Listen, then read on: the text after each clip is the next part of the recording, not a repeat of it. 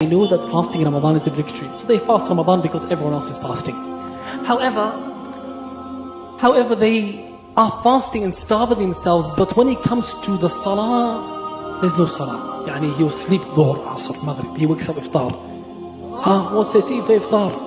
Pakura samosa all this stuff. He's eating. He's enjoying like he just done a good day of fasting. But no salah. What's the benefit of that? Salah comes before everything. Every act of worship, salah precedes it.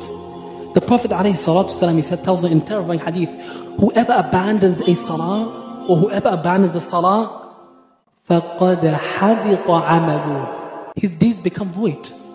And all other deeds, useless. Because you abandon the salah. The first thing Allah is going to ask you about Yawm al-Qiyamah, salah. You won't ask you about fasting or sadaqah, nothing. Salah. Your salah is intact, then everything else will be fine. Your salah is not intact, the rest of the deeds won't be looked at, they're useless.